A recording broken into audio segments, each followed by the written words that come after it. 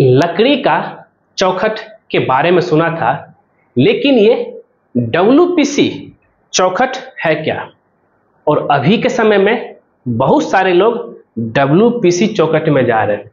ऐसा क्यों भाई? क्योंकि लकड़ी का चौखट में एक समय ऐसा आता है ना, उसमें जो है घुन लग जाता है। अब ये घुन कैसे लगता है कि भाई उसमें आपका जो टर्माइट अटैक कर देता है। टर्माइट क्या करता है? उसको जो है खाते खाते पूरा जो पूरा घुन लगा देगा, पूरा खा लेगा। किसी दिन ऐसे दरवाज़ा खोलिएगा ना, दरवाज़ा आपका हाथ में आ जाएगा। तो इसलिए जो है, हम यहाँ पे आपको रेफर करेंगे डब्ल्यूपीसी का। और साथ ही साथ, अगर लकड़ी में पानी भी लग गया तो ज़्यादातर आप लोग क्या देखते होंगे कि बरसात के मौसम में, चाहे ठंड के मौसम में, आपका दरवाज़ा ना तो खुलेगा, ना तो लगेगा। लेकिन ये डब्ल्यू में ये नहीं होगा मॉइस्चर फ्री और वाटर प्रूफ है ये। अब यहाँ पे हम जानते हैं, भाई ये डब्ल्यूपीसी डोर फ्रेम है क्या? और अगर हम लगाते हैं तो भाई एक डोर फ्रेम का कितना कॉस्ट पड़ेगा तो सबसे पहले हम यहाँ जान लेते हैं डब्ल्यू के बारे में। डब्ल्यू आपका हो गया वुड रहेगा। वुड प्लास्टिक का कंपोजिट वुड प्लास्टिक कंपोजिट इसी का हो गया डब्ल्यू पी सी ये प्योर वुड नहीं है। और यहाँ पे ये क्या रहेगा? इसका मॉइस्चर फ्री टर्माइट कभी भी अटैक नहीं करेगा। और भी साथ ही अगर आप इसको फिक्स करेंगे, जब हम लोग इसको फिक्स करेंगे तो यहाँ पे आप सब कुछ काम कर लीजिए। आप कॉलम का भी प्लास्टर कर दीजिए दीवार का भी प्लास्टर कर दीजिए, कोई दिक्कत नहीं है। आप कॉलम को तोड़ने की भी झंझट नहीं है। जरा ध्यान दीजिएगा। आराम से जो है फ्रेम बन के आएगा, आपका चौखट। यहाँ पे हम थोड़ा बना देते हैं। चौखट बन के आएगा। और इसको बस क्या कर लेना है? ड्रिल, तीन जगह ड्रिल करके इसको लगा देना है। ड्रिल करना है, एंकर फास्टनर लगाना ड्रिल करना, एंकर फास्टनर लगाना कोई इशू नहीं, ठीक है? ये आपका आराम से चौखट फिक्स हो गया। ये क्लियर कॉलम, बहुत लोग परेशान हो जाते हैं भाई कि मेरा ठेकेदार कॉलम तोड़ दिया, कॉलम तोड़ दिया। भाई, इसमें कोई दिक्कत नहीं। चौकट लगा, उसको एकदम पूरा जो है सपोर्ट में रखिए और ड्रिल मारिए ड्रिल करके उसको जो फिक्स कर दिए। ये चीज़ तो हो गया। अब हम बात कर लेते हैं कि भाई, अब इंडिया में जो है इसका कॉस्ट क्या पड़ेगा? जरा ध्यान दीजिएगा बहुत इंपॉर्टेंट चीज़ बताने वाला हूँ। अगर हम कॉस्ट की बात कर लेते हैं कॉस्ट में आपका रेट जो है पड़ेगा मार्केट में अलग अलग साइज़ का आता है। आपका अगर लेके चले हम आ, इसका साइज़ पहले हम रेट को छोड़िए पहले साइज़ की बात कर लेते क्या क्या साइज़ आएगा। साइज़ इसका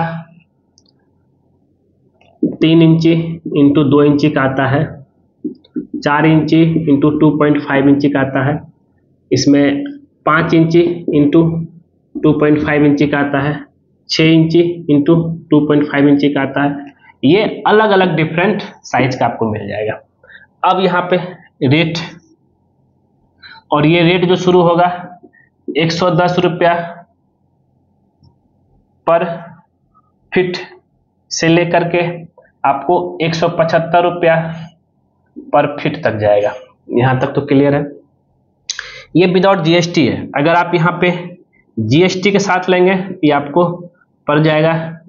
एक सौ तीस रुपया से लेकर के एक सौ तीस रुपया पर फिट से लेकर के आपको दो सौ दो सौ रुपया लमसम पर फिट आपको आ जाएगा। अब एक का कितना पड़ेगा? अब स्टैंडर्ड साइज़ हम लोग का दर डोर फ्रेम का क्या रहता है? जरा ध्यान दीजिएगा। कुछ इस तरीके से रहेगा आपका। ये डोर फ्रेम है। इस डोर फ्रेम का साइज़ आपका सात फीट हाइट रहेगा, सात फीट हाइट रहेगा और ये साढ़े तीन फीट आपका जो है, तीन फीट छह इंची आपका चौड़ाई रहा। उसके हिसाब से जोड़ लेंगे हम कितना पड़ गया? सात फीट प्लस सात फीट प्लस तीन फीट छह इंची। अब हम इसको कैलकुलेट कर लेते हैं। जरा ध्यान दीजिएगा। ये आ जाएगा दोस्तों। सत्रह फीट छह इंची। आपको सत्रह फीट छह इंची हो गया। तो सत्रह फीट छह इंची को हम लिख सकते हैं सत्रह पॉइंट पाँच फीट छह इंची को फीट में ज़ीरो पॉइंट फाइव हो जाएगा। इंटू हम यहाँ पे रेट लेकर चलते हैं आपका एक एक सौ अस्सी रुपया के हिसाब से। विथ दी जीएसटी के साथ एक सौ अस्सी रुपया कर दिए। तो कितना आ गया दोस्तों ये? तो ये आपका एक सौ सॉरी सत्रह पॉइंट फाइव इंटू एक सौ अस्सी, तीन हज़ार एक सौ पचास रुपया। ठीक है? अब ये जो है, ऐसे रनिंग फिट में आएगा। ठीक है? अब इसको फिक्सिंग अगर फिक्सिंग करवाएँगे फ्रेम को फिक्स करने का और लगाने का cost cost labour cost labour cost मिला लीजिए आप इस यहाँ पे। मिला करके विथ लेबर कॉस्ट आपका जो है, पड़ जाएगा तीन हज़ार पाँच सौ रुपये। अगर आप बड़ा साइज़ का लेंगे तो आपका 210 पड़ेगा। सबसे छोटा साइज़ एक सौ तीस रुपये स्क्वायर फीट गया था। हम एक पाँच इंची वाला लमसम का लेकर चले हैं।